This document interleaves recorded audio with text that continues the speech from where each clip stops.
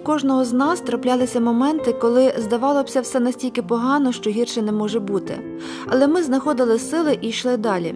Кременчанка Алла Андрущук на своєму шляху також пережила чимало горя, хвороби, стреси, відчай, двоє з чотирьох дітей інваліди.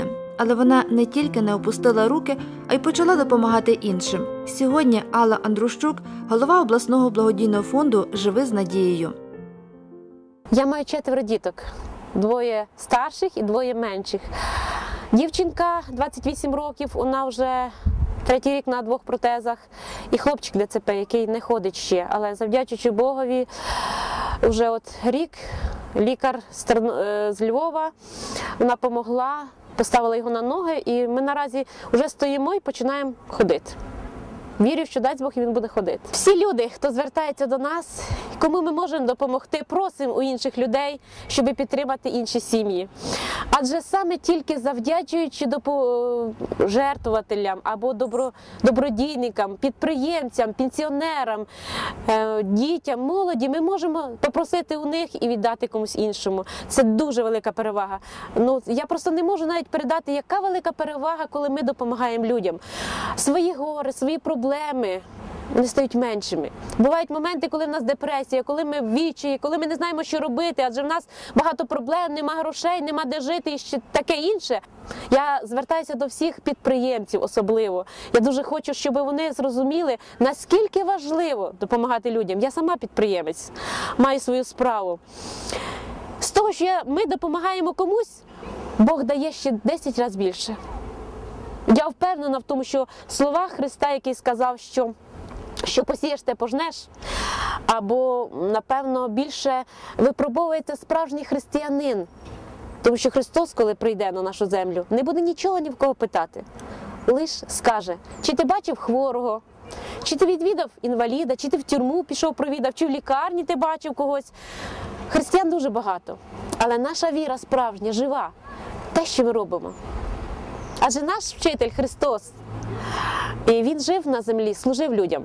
Коли ми будемо бачити проблеми людські, будемо служити людям, ми будемо просто щасливими. Я особисто є щаслива людина, хоч маю багато проблем і переживань від того, що можу допомогти комусь. І люди мають надію, можуть сміятися, посміхатися їхні дітки, можуть піднятися, можуть ходити, можуть мати тата чи маму, завдячуючи тим пожертвуванням, які ми допомагаємо. Дуже багато треба часу і коштів, е, щоб е, зібрати, поїхати, е, залишити своїх діток, своїх, свого хлопчика, який так має велику потребу в мамі. Але вони розуміють. І чоловік мене прекрасний, який відпускає, і син розуміє, і просить тільки, що «Ма- мамо, коли ти будеш вже вдома? Нині на рахунку фонду допомога десяткам людей, хоча пані Алла рахувати не любить. Каже, добрі справи записуються на небесах. Тим паче, коли ділимося з іншими, то це нас робить багатшими. Ось, наприклад, сім'я неділь. Дуже велике горе зустріло їх. Е, Дитинка на ДЦП народилась. Більшість, дуже багато проблем ем, з того, що лікарі не догляджують. І ось страждають потім сім'ї, діти ДЦП. Більша частина, скажімо, проблем з того.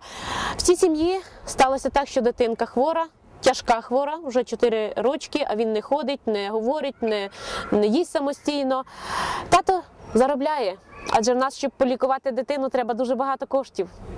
Щоб проїхати санаторії, особливо поїхати до Трускавця, Козявкіна, це хороший санаторій, але коштів треба дуже багато. Ось тато працював у Києві, щоб підтримати дитину.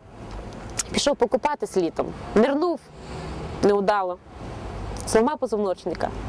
Скільки горя, скільки переживань цій сім'ї, а скільки коштів. Завдячуючи всім ріднім, друзям, знайомим, завдячуючи всім е, перехожим, ми змогли зібрати кошти, допомогти їм.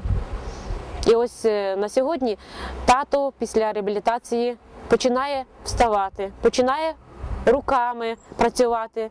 Цього року він був в санаторії, теж гарно підлікувався, починає сідати. Це велика перевага для цієї сім'ї, велика підтримка. Майже така сама історія хлопчик Вітя, який пішов купатися на 18 років.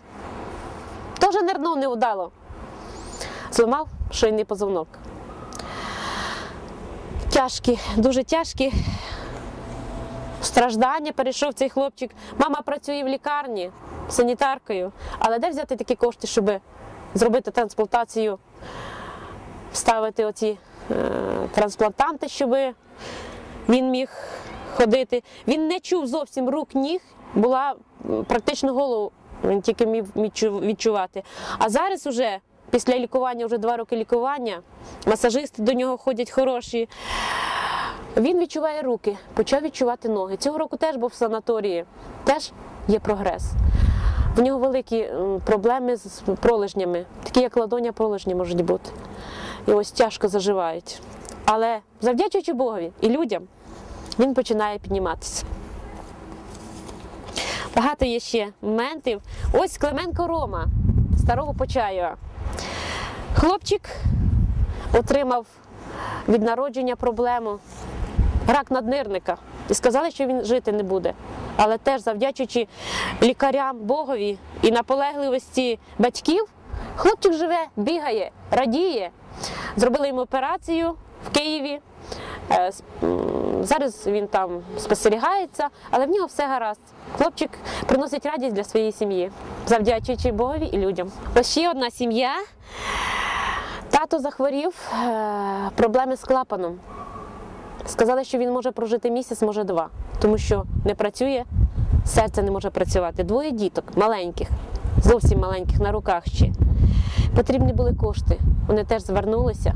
Ми звернулися до людей і завдячуючи знову ж людям і Богові. Тато отримав нове народження. Сьогодні живе, виховує діток. Мама працює, а він доглядає своїх діток, радіє життю. Благодійний фонд Живи з надією не виокремлює інвалідів з одним діагнозом, не надає перевагу тим чи іншим людям похилого віку. Сьогодні його волонтери стараються збирати кошти для усіх, хто звертається за допомогою. Тому Алла Андрущук особливо вдячна молоді, яка не байдужа до чужого горя, адже саме через нашу байдужість виникає чимало проблем. Хочеться допомогти всім.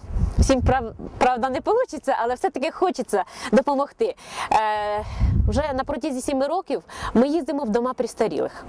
Доглядаємо, не доглядаємо, просто провідуємо стареньких людей, які втратили в надію в Бога, в людей віру втратили, тому що їх залишили діти, бувають моменти, або самотні, родина.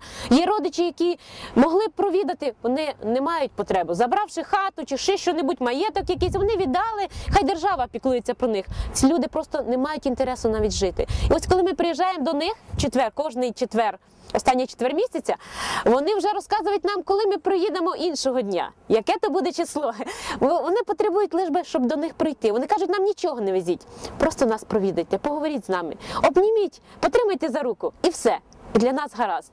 Я хочу сказати, що дуже багато людей отримують надію, коли вони відвідують саме таких одиноких, сумуючих людей. Е, Проводимо різні програми по школах. Про здоровий спосіб життя розповідаємо, е, про шкоду курінню, алкоголя і різних моментів, які не потрібно робити. Організовуємо різні святкові такі акції для того, щоб зібрати кошти для інвалідів на день міста, різні акції. Е, Все, що можемо, де можемо зібрати кошти, де можемо долучити людей до, якихось акцій. Ми щасливі з того, що можемо разом з людьми працювати. І ось до Тернополя її знову привело чуже горе. звернулася мама хлопчика е, Тернового Павла. Хлопчик сребний е, призер Кубка світу. Дев'ять років вже в спорті. Забрали його у Львів, побачили, що здібна дитина, і він там за, за Україну по всьому світі, скажімо, був гордістю нашою.